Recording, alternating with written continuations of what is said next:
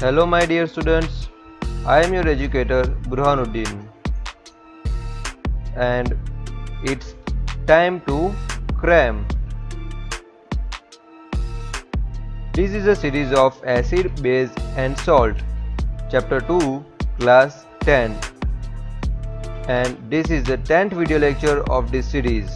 So in today's video lecture, we are going to discuss textual questions on chemical properties of acid and base which are given on page number 22 of NCERT textbook. So let's do a quick revision that what I had covered in my previous video lecture. I had completed introduction part, then after chemical properties of acid and bases, then I had done a rapid revision of chemical properties of acids and bases. These are the list of topic which I had covered in chemical properties of acid and bases. If you want to learn chemical properties of acid and bases in detail then click the i button and check it or else link of these video lectures are also given in description box.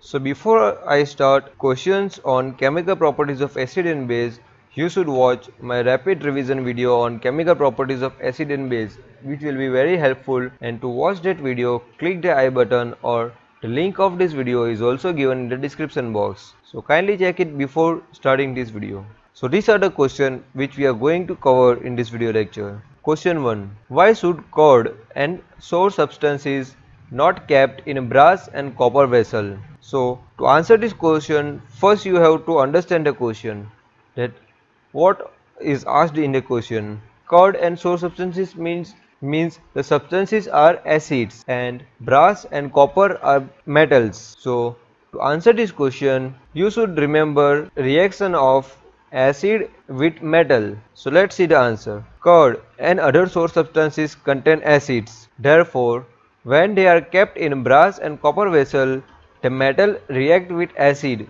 to liberate hydrogen gas and harmful products thereby spoiling the food. So as I already discussed that when metal will react with acid then it will produce salt and hydrogen gas and harmful products so that cord and other sour substances are not kept in brass and copper vessel. Let's see an example that if zinc which is metal will react with H2SO4 then it will produce zinc sulfate which is salt and hydrogen gas which is H2. Hope you understand. Let's see next question. So let's see question number 2. Which gas is usually liberated when an acid react with metal?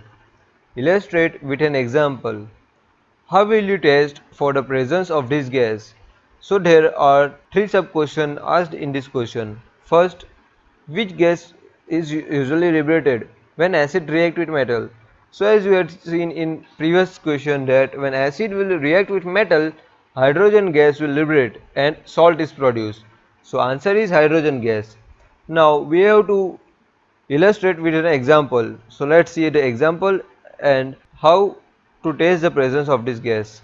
So as we had seen this activity of acid with metal, if you want to learn this activity in brief then click the I button. So let's see the activity. So in a test tube, take zinc granules and add 5 ml of dilute H2SO4 in that test tube and then shake it and pass the evolved gas into the soap solution with the help of delivery tube. So hydrogen gas will be produced and we have to pass that hydrogen gas to the soap solution through the delivery tube. So bubbles will be formed. These soap bubbles contain hydrogen gas. Zinc metal will react with H2SO4 it will form zinc sulfate and H2 gas. So this H2 gas is passed through the delivery tube. Now the third question was that how we will test it. So to test the presence of hydrogen gas we have to take a burning candle near that bubbles and if the candle will turn off with a pop sound, it will confirm the presence of hydrogen gas. So this was the answer to the second question. Now let's see the third question. Metal compound A react with dilute hydrochloric acid to produce effervescence. The gas evolved extinguishes a burning candle. Write a balanced chemical equation for the reaction if one of the compound formed is calcium chloride. So in this question the hint is already given just we have to find it so what it is a metal compound will react with dilute hydrochloric acid. One hint is the gas evolved extinguishes a burning candle. So which gas it is? Yes, carbon dioxide. To answer this question, first we have to identify that which reaction it is. So in which reaction carbon dioxide gas is produced? Yes, in the reaction of carbonate with acid or hydrogen carbonate with acid. And what we are asked here to write a balanced chemical reaction if one compound formed is calcium chloride. So we have to write a chemical reaction to form calcium chloride. So to form calcium chloride we have to do the reaction of calcium carbonate with hydrochloric acid. Then only we will get calcium carbonate. So see here calcium carbonate that is CaCO3 is reacted with 2HCl that is hydrochloric acid. Then from CaCO3 Ca and from HCl Cl2 will combine and form CaCl2 that is calcium chloride which we are asked for and from remaining CO3 from calcium carbonate CO2 is formed and remaining H2 and O will combine and form H2O. So this is the chemical reaction which we have to write. So the topic which will be covered in next video lecture is what do all acids and all base have in common that is 2.2. That's all for today's video lecture.